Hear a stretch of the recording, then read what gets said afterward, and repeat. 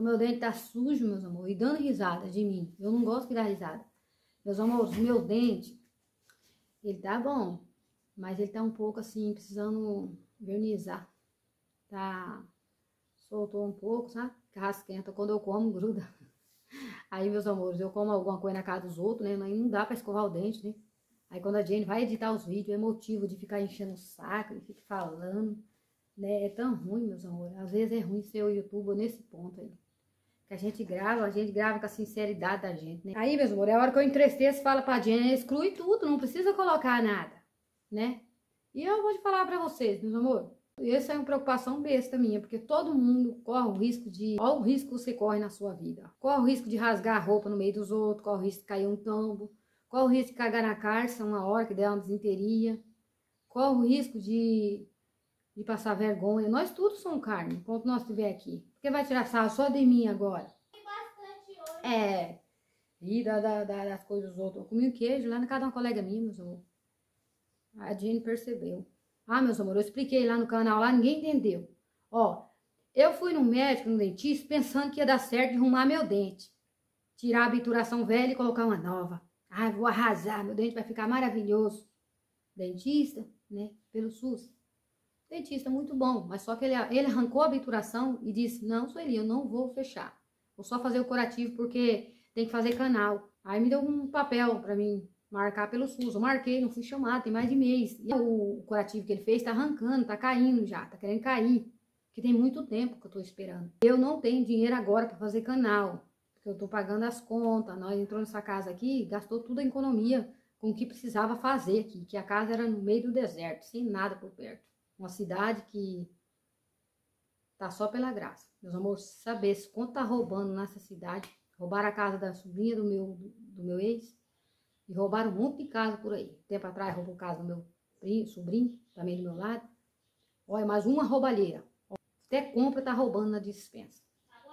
Diz que anda olhando nas casas, assim, ó, olheira, que olha no meio do dia quem vai sair da casa. Gente, pelo amor de Deus, um conselho pra vocês.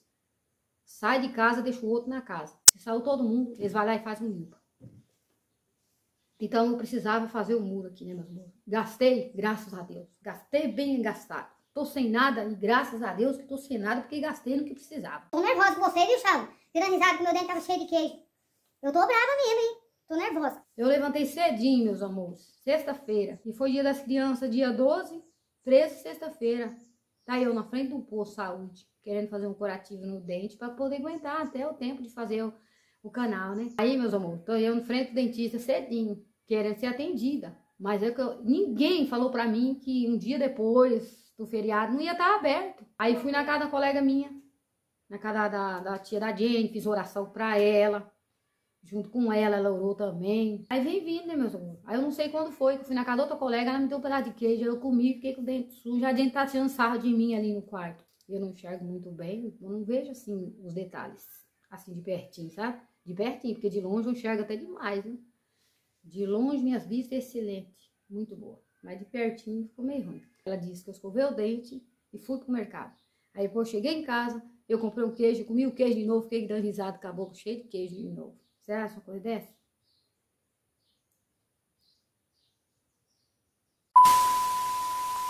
O almoço de domingo já tá pronto. Vocês querem? Uma deliciosa maionese. Hum, delícia. Macaronada, ó. Hum, soltinho meu macarrão. Macarrão, frango, um delicioso frango na airfry, ó, meus amores. Crocante e delicioso. Hum, delícia. Bora almoçar com nós, meus amores? Bora almoçar junto com a gente? Almocinho de domingo é pronto. Não é bom? Preparado por mim o almoço? Minha mãe, como sempre, um pratinho bem pequenininho, né, mãe? Quase não come, né? Não, Tá cheia, né? Eu vou comer. Hoje ela tá cheia, né? Um pouco. Hoje eu vou comer pouco, gente. Tá comer bem pouco, né? Hoje eu vou. Falta carne aqui ainda. né? Tá. Quase não come. A mãe quase não come, gente. Vou tirar uma fotinha aqui da minha comidinha. Então, foi eu que preparei o almoço, gente. Tá Vou devolver o pronto. garfo Jenny, não o pessoal me xingar. Diz ela que o frango tá crocante, gente. Já experimentou. Então, aí. vamos comer. Meu almoço tá pronto. Se vocês quiserem almoçar junto com a gente, tá uma delícia. Ó, coloquei queijo no macarrão, maionese com azeitona e frango assado na airfry. Ficou muito gostoso. E o macarrão também. Delicioso. Bora comer, meus amores, que tá na hora. Acabei de ligar o celular, tá meio travando. Ó, meus amores. O melão, aquele melão que eu ganhei no mercado, eu vou cortar ele pra mostrar pra vocês como que é, se é doce, se é gostoso, como que é. Melãozinho pequeno, eu ganhei no mercado, esse melão. Diz que esse melão aqui, diz que é melão japonês. Que pode comer ele com casca. Não precisa nem descascar, que é molinha a casca dele, ó. Que engraçado, né? Vamos experimentar com a casca, pra ver se é bom mesmo. Olha, meus amores, como que é. Vamos cortar no meio. E o homem falou que pode tirar semente. Olha aí. Pode tirar semente pra plantar, gente. Ele falou pode tirar pra plantar.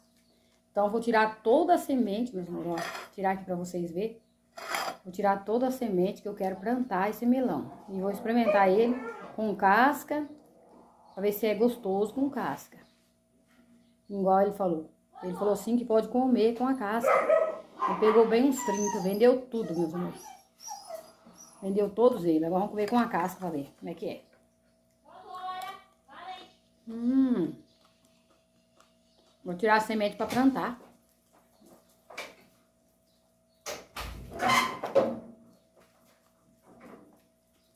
Eu acho que a gente tem que parar pra secar essa semente, né? Uma plantar? dica aí, meus amores. Se tem que deixar uma... Né? Tem cheiro de melão. Melão normal, muito gostoso, viu, meus amores? Muito bom. Não precisa descascar. É melão japonês. Ele falou que pode comer com casca, não. Uhum. Meus amores, deixa um comentário aí. Se vocês conhecem esse tipo de melão, vocês já comeram. Hum, muito bom. Colocou ração pra eles? Coloquei ração pra todo mundo. Todo mundo comer. Ai, mas a mãe não vê que eu tô bem cansada. Não tem culpa se ela quer lavar a louça o dia inteiro. Deixa a louça aqui, quando eu quiser eu lavo. eu quero melão. Não gosto de deixar a louça na pia. Mais gostoso que a casca. Em campo aberto, as sementes de melão podem ser plantadas diretamente, entre meados de abril e maio. Não, pronto, quando você quiser. O certo é plantar na época certa, gente. Gente, é mais gostoso que a casca, fica crocante. Com a casca é crocante. Ó, Sem a casca é buchibento. maravilhoso. Eu recomendo. Aonde vocês achar, compra e coma, porque é uma delícia. Maravilhoso. O cabelinho começa a secar, já começa a ficar armadinho. E meus amores, ganhei um chinelo de presente tão bonito, vou mostrar pra vocês. Lindo, meus amores, muito bonito, do jeito que eu gosto. Ganhei aqui da minha vizinha do lado de cá, minha amiga. Ela ganhou, acho que não serviu nela e serviu, aí ela me deu. Eu estava assistindo filme de ação. Eu e a Jenny assistindo filme de ação. Meus amor, pensa num filme bom. Eu vou indicar para vocês. É aqui nesse aplicativo que a Jenny colocou no nossa TV, que ela assinou. Mas pensa no aplicativo que tem tudo quanto é canal. E tem também TV é, e novelas. Eu amei. Muito bom. Vou mostrar para vocês três filmes que nós assistimos. Vou indicar para vocês. É maravilhoso, é de ação. Muito bonito. Esses três filmes aí em cima aí, ó. Esses três aí, ó. Eu e a Jenny assistimos os três. É de ação. A busca implacável. O outro é a busca implacável 2 e a busca implacável 3. Meus amores, olha o chinelo. Passei esmalte na unha, meus amores, ó. Como é ficou bom? Aí, ó. Chinelo. Ele é todo brilhoso, meus amores, ó. Ele brilha. É bonito. Tem um brilho lá fora. Ele brilha mais. Ele é alto, ó. E muito gostoso de usar. E bonito também, né, meus amores? Formou com a unha bem pintada, o pé lavadinho, bonito. Mais tarde. Olha que lindo que ficou. Essa bandeja de levar café na cama. Aqui tem os dois porta-copo. Aqui mais dois. Esse aqui também é porta-copo. Então, essa é uma bandejinha de levar café na cama, meus amores. Olha que lindo que ficou, olha. Nada tá perdido, né? O pessoal jogou esse aqui fora, novinho. Então, aí eu fiz ficar lindo e maravilhoso assim. A gente tinha esse paninho aqui que ia jogar fora, então eu guardei. Então, nada tá perdido, meus amores. Se você as suas mãos e fazer as coisas acontecer. Você ficou bonito? Vocês gostaram? Se gostaram, deixa uma curtida aí. Aqui, meus amores, na hora de levar o café, esse aqui é tirado, viu? Usa na mesa. É porta-copo. Igual esse aqui, ó. De pôr o copo em cima. Esses aqui tem dois, ali tem dois. E aqui é um lacinho que eu fiz pra enfeitar, ó. Vocês gostaram? Ó, aqui é um lacinho que eu fiz pra enfeitar. Eu tava mostrando, mas eu tava só olhando, mas não tava gravando direito. Então, é um lacinho aí, ó. Tem um laço, tem cinco porta-copos, cinco, cinco toalhinhas de ponhar o copo. E tem a toalhinha da, da cestinha, que é de levar café na cama. Olha, meus amores. Que linda, né? Amei, gostei bastante disso que eu fiz. Falar pra vocês que no canal, esse aqui tá novinho, ó. Eu achei ela novinha, novinha. Então, olha, novinha, meus amores. Comprada na loja, né? A pessoa pode não ter gostado, né? E ficou linda. Lavei bem lavadinho e fiz essa maravilha aí. Vocês estão vendo, linda e maravilhosa. Esqueci de falar pra vocês, é pra Chá não levar café na cama pra mim. Olha que chique. Bem bonitinho, toda enfeitadinha assim ainda, hein? Crepioca. Né, meu amor? Bem gostoso. Aí põe as coisas tudo aqui, bolachinha, crepioca, queijo fatiado, um cafezinho preto do lado. É um docinho gostoso. O meu plano é esse. O que, que você acha, Shauna, da ideia? Esse aqui vai ficar assim, ó. Que tá enfeitando. Mas quando você for levar o café, você vai ter que tirar isso aqui, ó. O lacinho você pode mandar. Põe uma florzinha também, que eu gosto. Viu, Shauna? Pra você levar café na cama pra mim. Um dia eu levo pra você também. Apesar que você não é muito, muito romântica, mas eu vou levar. No dia seguinte, O que, a solidão não faz, gente? O Niquinho acordou dando banho no, no, no ursinho. Ô, filho. Oh, meu Deus do céu, tá tão solitário o neném, gente. Ai, que bonitinho. Olha, olha, filho. Filho, olha que bonitinho. Olha, bonitinho, olha. Olha que bonitinho, mamãe, olha. Hã? Olha.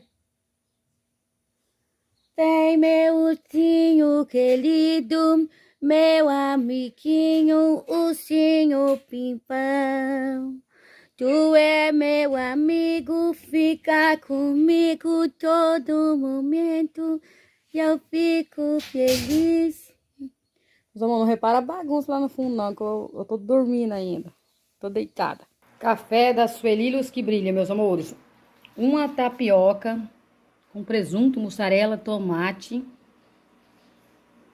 Presunto, tá uma delícia, meus amor. Tapioca. E um cafezinho preto delicioso. Esse é o café da manhã da Sueli Luz que brilha. Tô na dieta ainda, meus amor. Tô tirando o pão, comendo mais pouco. Meus amores, tô indo por saúde, tô indo a pé. Porque eu tô fazendo exercício, meus procurando caminhar. Então podia muito bem ir de carro, né? Tá quente, tudo, mas eu tô com a sombrinha. Então eu preferi ir a pé, meus amores. Eu gosto de movimentar o corpo, me ajuda a melhorar.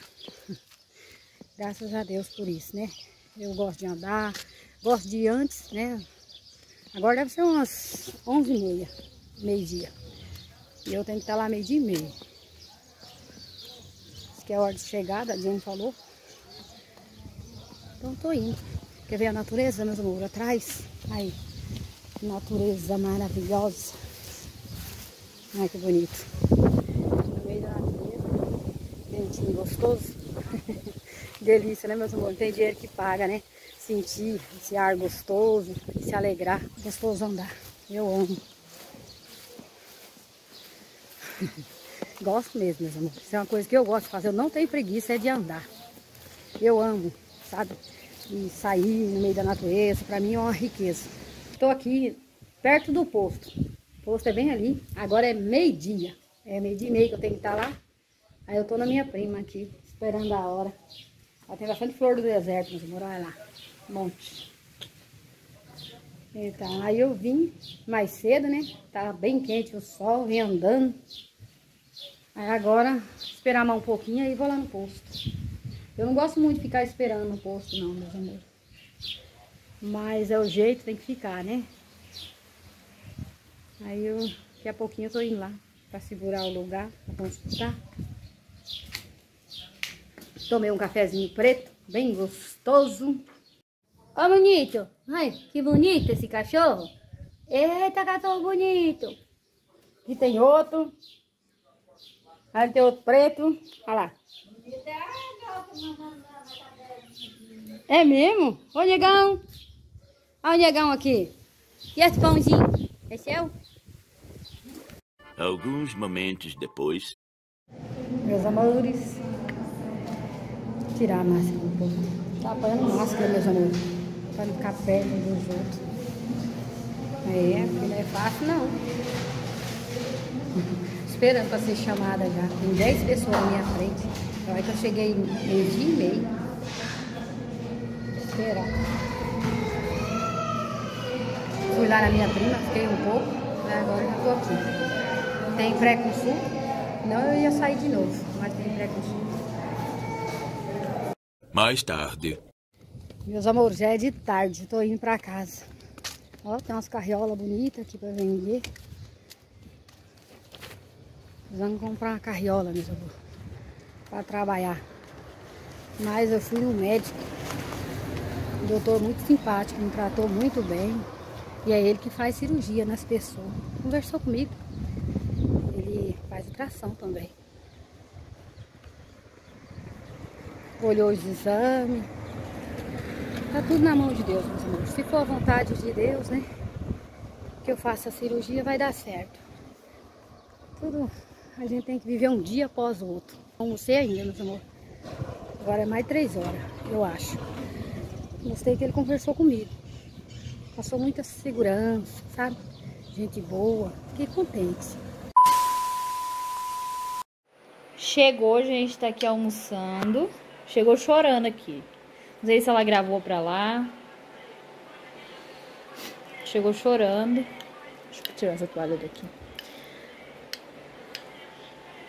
Aí eu. Ela colocou comida. Eu coloquei a salada ali do lado pra ela pegar.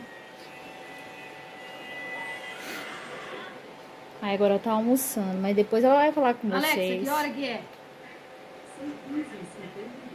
15h52.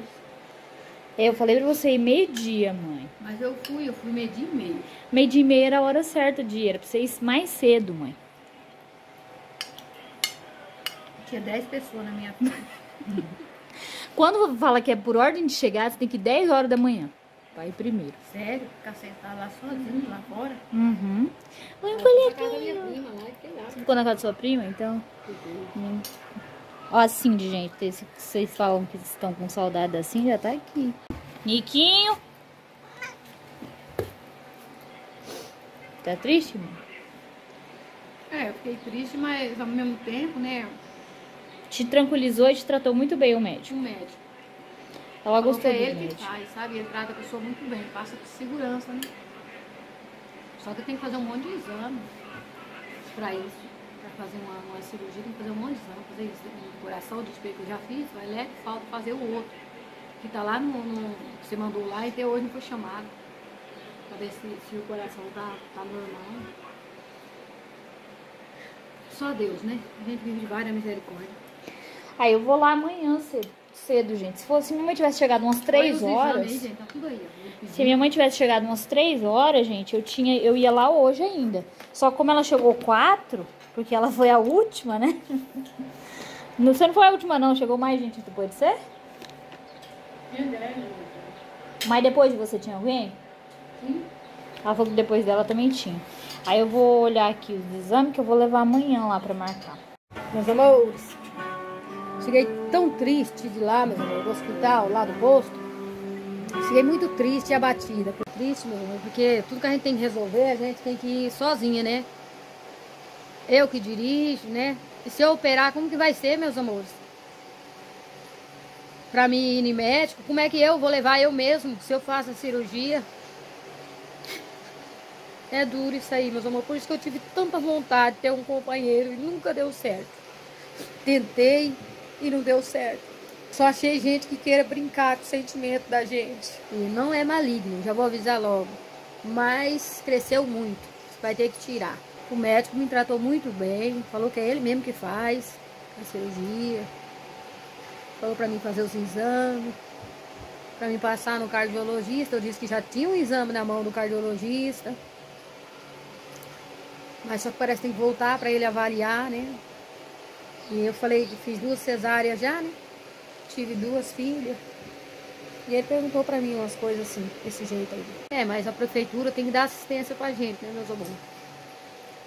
Tem que vir buscar a gente, levar. Tem que valorizar a gente também, né? A gente não tem costume de estar ocupando, mas a gente vai acabar ocupando. A gente vai acabar precisando. Eu tenho medo de fazer cirurgia, meus. Vou falar a verdade. Eu tenho medo. Enfim, meus amores, hoje eu não tô bom para conversar, só tô reclamando, né? Mas que eu queria, na verdade, ter um companheiro do meu lado agora, eu queria. Um homem honesto, né? Tivesse honestidade, primeiro com Deus, depois comigo, mas eu não encontrei, né? Pelejei, mas não deu certo. Tem uns homens aí que eu conheci, meus amores. Se tivesse com eles, ia ser a mesma coisa de estar com um saco nas costas sofrendo, viu? Já vou avisar logo. Um saco nas costas, além de estar com essa situação com um saco nas costas. Se tivesse com certos homens que eu já conheci. Porque não, não dirige para fora, não tem habilitação. E adiantar o quê? Nada. Ia ser pior ainda. Além de ter tá doente, tem que cuidar dos outros. Então é melhor sozinho que mal acompanhado. Queria um companheiro inteligente, tivesse carteira, habilitação, dirigisse para todo canto, companheiro, né? Mas já que eu não conseguisse, se for para arrumar um enrosco na minha vida, um homem, para mim perturbar e atrapalhar ainda a minha vida, é melhor sozinho. Tem que agradecer a Deus. É, meus amores, e eu, se eu quiser um filho, eu vou ter que adotar, pelo jeito.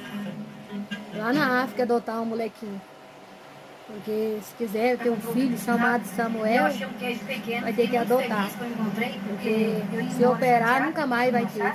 Esqueci de falar pra vocês, a gente foi lá ver no médico lá pra marcar as, as cirurgias, as coisas lá, sei lá como é que vai ser. Ela acho que já até chegou, gente, deu certo marcar.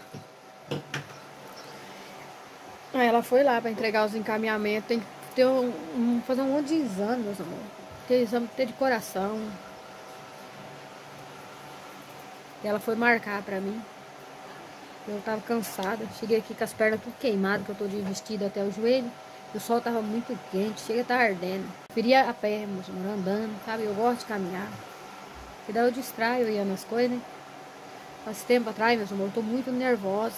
Muito nervosa. Passei muita raiva. Ixi. E juntou a criançada me empirraçando ainda aí na frente. Agora quietou, graças a Deus, eu tava doente. Dor de cabeça, nervosa, passando mal, tanta coiseira com essas coisas aí, sabe? E a gente às vezes fica mais nervoso. Eu tô mais calma agora, não tô mais nervosa, não. Gente, os cachorros estão fazendo barulhão lá fora. Ó, o Niquinho tá aqui. Minha mãe tá lá arrumando areia que os cachorros espalhou. Milo! Silêncio! Chega! O Niquinho tá aqui. Gente, eu acabei agora de lavar a louça. Lavei a louça agora. Terminei aqui. Vou guardar. E eu vou fazer um mousse de morango pra minha mãe, gente. Ela tá meio triste, meio chateada. E a coisa que ela mais ama no mundo, que ela mais ama comer, é mousse de morango, né?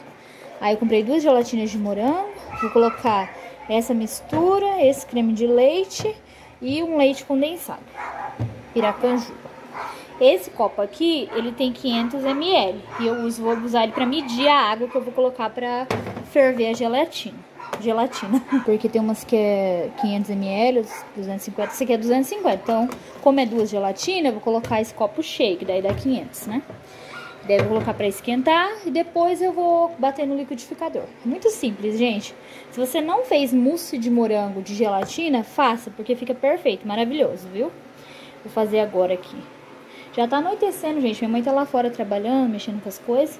E os cachorros tá gritando aqui. Amanhã cedo eu vou marcar as coisas pra ela.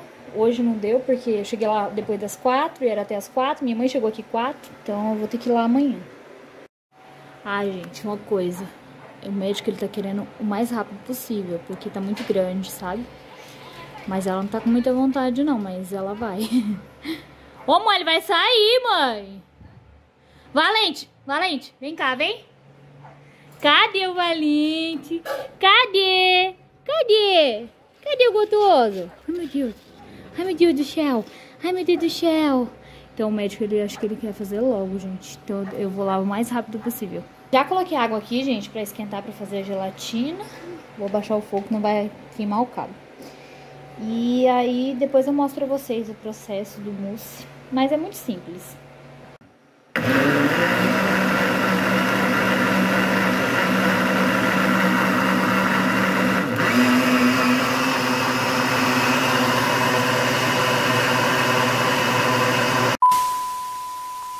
Deixa eu ver se o celular tá travando. O celular tá uma benção. Eu ia filmar e mostrar pra vocês, gente, mas tava uma confusão tão grande de cachorro lá fora que eu já fiz, já coloquei na geladeira e quando ficar pronto eu prometo tentar mostrar, né? Minha mãe gosta tanto, gente, quando ficar pronto ela já vai querer experimentar. Mas eu vou tentar mostrar pra vocês. Nossa, uma barulheira de cachorro, gente. Mas é só misturar, vocês já sabem, né? O leite condensado, creme de leite e a gelatina. Aí mistura tudo.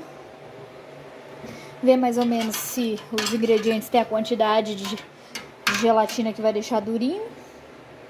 E pronto, gente.